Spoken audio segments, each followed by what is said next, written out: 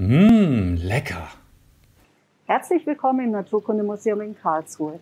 Ich bin Daniela und begleite heute wieder einen Tierpfleger bei einer Tierfütterung. Heute habe ich diese Mahlzeit dabei. Wem das wohl schmeckt? Lasst uns das herausfinden.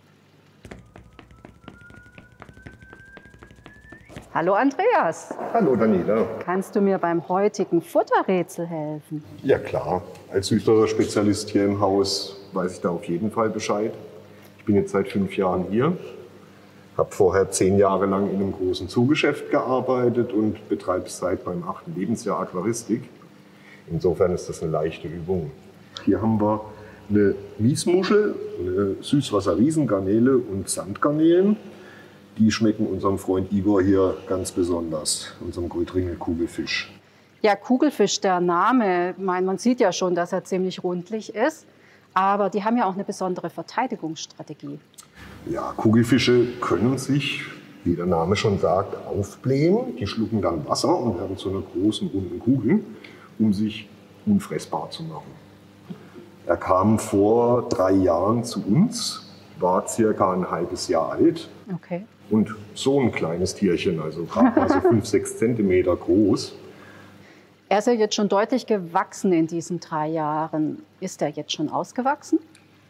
Nein, also die Fachliteratur ist sich nicht ganz einig. Die Angaben schwanken zwischen 60 und 75 Zentimeter. Ja, also das sind 75 Zentimeter hier. Wow, also, kann riesig. Wir wollen ja jetzt nicht lange den Kerl hier warten lassen. Wie Ja. fütterst du denn den Igor? Oh, er zeigt schon Zähne. Ja, ja, ja, ja, der ist jetzt unruhig. Er sieht sein Futter natürlich auch. Kugelfische können sehr weit aus dem Aquarium rausschauen. Der bekommt also auch alles mit, was hier draußen passiert. Und ich fütter ihm normal die Miesmuschel aus der Hand. Die zerbeißt er dann auch gleich und die Schalen fallen dann hier im Mittelbereich nach unten. Hier haben wir eine große freie Zone im Aquarium, damit wir die einfach besser wieder raussammeln können und die nicht irgendwo zwischen den Pflanzen dann liegen bleiben. Die Garnelen können wir ihm einfach hineinschütten.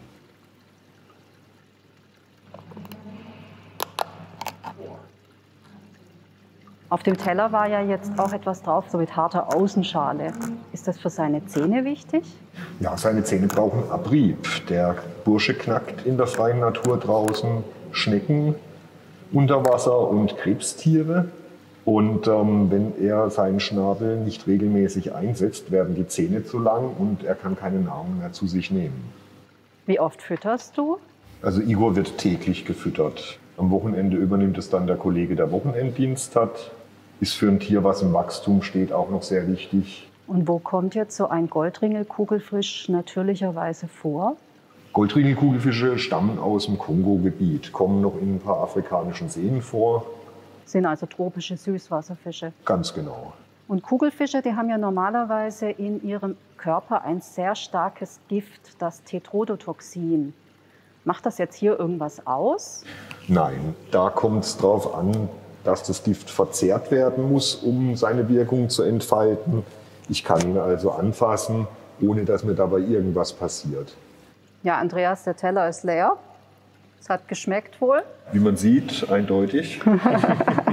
Ja, vielen Dank, dass wir bei der Fütterung dabei sein durften. Gerne, jederzeit.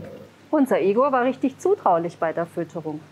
Und für die nächste Folge ein neues Futterrätsel für euch. Bis zum nächsten Mal, wenn es wieder heißt Mahlzeit